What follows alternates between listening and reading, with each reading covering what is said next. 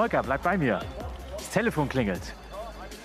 Daniel lacht schon. Die Tochter ist am Telefon Ja, genau. und ähm, Die Anna muss jetzt warten, der Volker muss jetzt Interview geben. Und äh, wir werden ihn jetzt dann gleich mal auch im Bild sehen, während hier die Pferde auch nochmal versorgt werden vor dem Waagegebäude. Und immer gut zu lesen. Gut für Köln und Bonn, die Sparkasse Köln-Bonn. Lieber Volker, was ist deine Hausbank? Ja, Was deine Hausbank ist? Meine Hausbank bin ich, Bist du alleine? bin ich alleine. Du, das heißt, du packst jetzt das ganze Geld unter das Kopfkissen? Nicht unterm Kopfkissen, ich habe unterm Heu. Okay, sehr schön. Dann wissen wir jetzt auch, wo wir demnächst mal nachschauen müssen. Volker, herzlichen Glückwunsch dir und deiner Tochter. Wirbelsturm, es läuft gerade so gut, gell? Also Wirbelsturm kommt aus einer Pause und dann so eine Leistung. Ja, also wir haben schon gesehen, im Winter war er bei uns, dass er mit Alberto, die mitgelaufen ist. Ich denke, der gewinnt noch ein paar Rennen. Wir haben gesagt, fünf Rennen soll er nur gewinnen. Ihr sagt es den Pferden, bevor sie aus dem Stall gehen. Ja, vorher musst du das den Pferden sagen, sonst glauben sie ja nicht dran.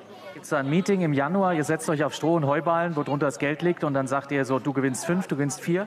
Ja, danach gibt es ja auch das Futter denn. Ah, stark, sehr schön. Und wer dann nicht genug Siege schon vorhersagt, der hat halt Pech gehabt. Der hat natürlich Pech, der kriegt nicht so viel Futter wie die anderen. Ja, wo geht's mit Wirbelsturm weiter? Ja, dann wollen wir jetzt näher mit ihm nach Hamburg. Schön, da haben wir das Meeting ab 30. Juni. Wie viele Starter habt ihr voraussichtlich in Hamburg? Ich denke, wenn alle gesund bleiben, 21, 22. Oh, das wird lustig. Die Bahn ist bereit. Volker, Dankeschön.